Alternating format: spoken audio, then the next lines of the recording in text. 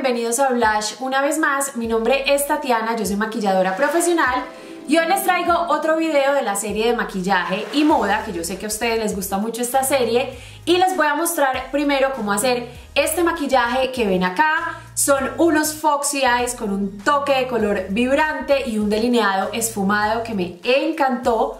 Obviamente ustedes pueden hacer este maquillaje en los colores que ustedes prefieran. Estas son ideas que yo les doy para que se inspiren. Y les cuento que en este video voy a estar probando con ustedes varios productos nuevos que están súper chéveres. Entre ellos les adelanto una base buenísima que además sirve para utilizar con el tapabocas. Y también les voy a mostrar una ropa nueva que me llegó de Shein en estos días. Ustedes saben que yo trabajo en colaboración con ellos desde hace mucho tiempo. Shein es una tienda de ropa online grandísima. Tienen cosas muy bonitas, la verdad que a mí me encanta la ropa de ahí y los precios son excelentes. Y fuera de eso, ellos siempre me dan un código de descuento para ustedes, para mis seguidores, así que se los voy a dejar acá en la pantalla y también abajo en la cajita de información para que se antojen, lo aprovechen y lo utilicen a la hora de pagar y les hagan el 15% de descuento. Y bueno, hoy les voy a mostrar cosas de diferentes estilos porque ustedes saben que Shein tiene de todo y para todos los gustos, así que tengo prendas casuales, básicas, deportivas, también de fiesta, mejor dicho, eso está buenísimo, así que vamos de una vez con el video, espero que lo disfruten y empecemos. Yo ya tengo mi piel preparada y vamos con el primer producto nuevo que es este que se llama Soap Brows o jabón para cejas. Vale la pena aclarar que este es un producto diseñado específicamente para las cejas y este kit, como ven, trae un cepillo también. Entonces lo que debemos hacer es mojar el producto con un poco de fijador de maquillaje, luego untar el cepillo y por último peinar las cejas muy bien hacia arriba. Y miren el efecto tan lindo que da, a mí personalmente esta tendencia me encanta. Luego voy a pasar con un ventilador para que el producto se seque bien y las cejas queden tal y como las peiné. Vamos ahora a maquillarlas y voy a utilizar este lápiz de Maybelline. Es un lápiz con la punta delgada como pueden ver que nos da muy buena precisión. Así que voy a rellenar los espacios que están vacíos trazando pequeños pelitos para ir completando bien la forma de las cejas y luego paso por debajo con un poco de corrector para definir bien la forma y boom, tenemos cejas orgánicas o emplumadas con un acabado muy natural y que está súper en tendencia. Sigamos con las sombras y hoy voy a utilizar esta paleta de Natasha Denona que se llama Safari Palette y todas las sombras son con acabado mate. Voy a empezar con este color naranja y voy a ponerlo en la cuenca del ojo con un pincel de difuminar para ir dando profundidad. Luego voy a tomar esta sombra en crema de Natura que viene en formato de lápiz. Es un color azul metalizado hermoso y voy a hacer un delineado de gato bien pegado a la raíz de las pestañas de la mitad del párpado hacia afuera y luego voy a tomar un pincel plano pequeño para terminar de darle forma al delineado. Esta sombra tiene una textura cremosa muy chévere, entonces es muy fácil de trabajar. Volvamos a la paleta y voy ahora a tomar este color azul oscuro y con el mismo pincel plano voy a sellar la sombra cremosa para que el delineado no se mueva y resalte mucho más el color. Voy a seguir con esta sombra verde oscura, también mate, y con un pincel muy pequeñito voy a difuminar con mucho cuidado el borde del delineado de manera que quede esfumado y no quede una línea muy marcada. Ahora voy a tomar un poco de agua micelar con un Q-tip o un hisopo y voy a pasar por el borde externo del delineado para que esa línea quede bien definida y bien marcada. Volvamos a la sombra naranja y con un pincel de difuminar de tamaño mediano Voy a ponerla en la línea de las pestañas inferiores, desde el lagrimal hasta la parte externa, y luego con la sombra verde oscura y un pincel plano, paso por la raíz de las pestañas para darle un poco más de definición al ojo en este sector, pero teniendo cuidado de no tapar el color naranja. Vamos ahora a darle el toque vibrante a este make-up y voy a tomar este delineador en gel color aqua de Anastasia Beverly Hills y con un pincel delgadito voy a ponerlo en la línea de agua inferior y voy a poner varias capas hasta lograr una buena intensidad y una vez se seque no se mueve de ahí porque este delineador es waterproof. Pasemos a la piel y voy a empezar aplicando este primer hidratante de Smashbox que está buenísimo, es un boost de hidratación para la piel sin dejarla pesada ni grasosa y hace que el maquillaje que después pongamos encima quede espectacular. Y luego voy a utilizar este otro primer también de Smashbox que se llama Pore Minimizing y es mi preferido para emparejar la piel y disimular la apariencia de poros abiertos. Sigamos con otro producto nuevo, esta base de Max Factor que se llama Lasting Performance. Tiene una textura cremosa como ven, pero primero antes de aplicarla voy a probar el color porque la compré así a ojo sin tester y afortunadamente hice una buena selección.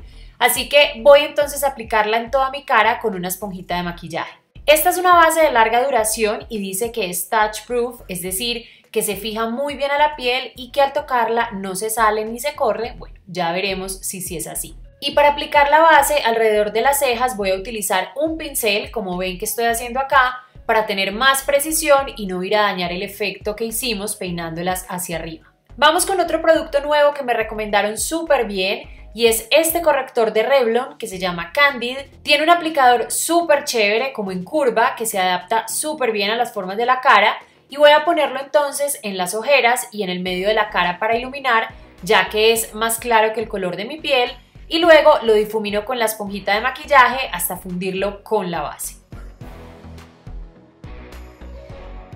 Sigamos con el bronzer y hoy voy a utilizar uno que me encanta, este de MAC que se llama Give Me Sun.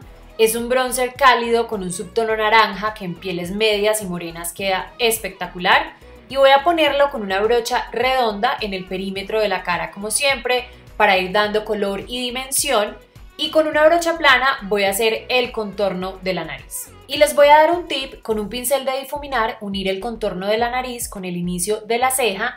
Esto conecta el maquillaje y hace que se vea súper bien. Y me acabo de dar cuenta que no sellé el corrector, no sé qué me pasó, se me olvidó, pero acá aproveché para chequear el corrector y les cuento que casi no se acumulan los pliegues del ojo, eso me pareció wow, tal vez por eso fue que se me olvidó. Y vamos entonces con este polvo translúcido de Laura Mercier, que es uno de mis favoritos, y la esponjita de maquillaje a sellar el corrector. Vamos con el iluminador y por acá tengo este clásico de MAC que se llama Soft and Gentle y hace rato no lo usaba y me había olvidado de lo hermoso que es, no solo porque da un glow súper lindo en la piel, sino porque se funde muy bien con el resto del maquillaje. Sigamos con el blush y por acá tenemos otro producto de MAC, este rubor cremoso con textura de mousse, es como acolchado, súper chévere y da un acabado muy natural en la piel y voy a aplicarlo con una brocha Duo Fiber, voy a ponerlo en las mejillas y llevándolo hacia arriba, hacia la sien. Terminada la piel, vamos a poner fijador de maquillaje, voy a usar el Fix Plus también de MAC para sellar y asentar los polvos que pusimos en los pasos anteriores.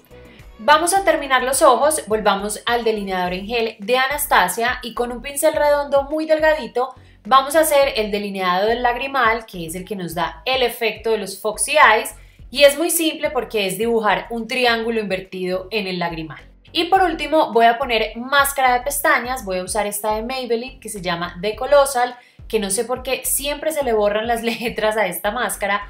Cuéntenme si a ustedes también les pasa porque para mí es un gran misterio. Bueno, y antes de seguir con la boca voy a hacer una pausa porque ya es hora de sacar a Pedro y él ya anda por acá rondando que ya quiere salir a la calle. Entonces voy a aprovechar para probar esta base utilizando el tapabocas. Como les decía, esta base es touch proof o sea que resiste que uno la toque, el roce del tapabocas, así que bueno, vamos a ver. Yo por acá tengo mi tapabocas limpio, me lo voy a poner, voy a sacar a Pedro y cuando regrese miramos el tapabocas y les cuento cómo me fue con la base.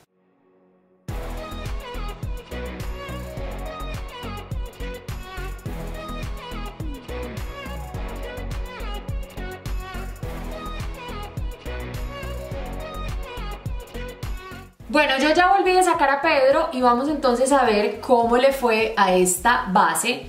Miren, así quedó mi tapabocas y la verdad no me parece que se transfiera tanto. Yo he utilizado otras bases que el tapabocas queda súper sucio y además también encontrar una base que no se transfiera absolutamente nada pues es imposible y también es importante chequear cómo quedó la piel Miren cómo se ve el maquillaje por debajo, el maquillaje no se corrió, no me quedó la marca del tapabocas, eh, ni se ven manchas en la piel, entonces la verdad me parece que esta base sí cumple y queda aprobada para utilizar con tapabocas. Sigamos con la boca y hoy voy a utilizar este combo, primero este lápiz delineador de labios de MAC en el color Strip Down para trazar bien la boca Y luego voy a utilizar este labial de NYX que se llama Lip Cream en el color Abu Dhabi. Y por último aplicamos un poco más de Fix Plus para terminar de sellar y refrescar la piel. Y así queda este make-up, unos Foxy Eyes con un toque de color.